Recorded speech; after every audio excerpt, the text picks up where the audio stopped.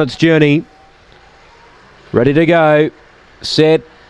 And away, Team Roper actually began real well tonight, looking for the lead, and looks like it will get it. Booting up Aston Asteroid, the roughie held it early.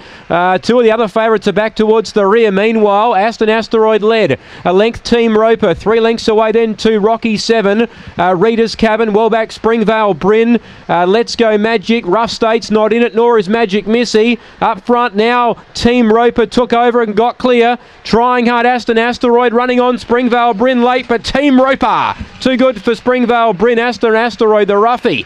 It ran third. Fourth was Rocky Seven.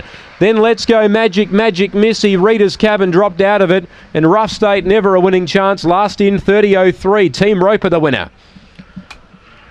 Team Roper began real well tonight. Has got the money and normally takes a stride or two to hit his straps, but tonight he came out running and he was lobbing second early behind the roughie. And down the back, he was the greyhound you wanted to get your money on. Springvale Bryn's closed late to run second, and one Aston Asteroid, the roughie. The $60 roughies run third. Two fourth Rocky seven, three eight one and two, 3003, 445 early.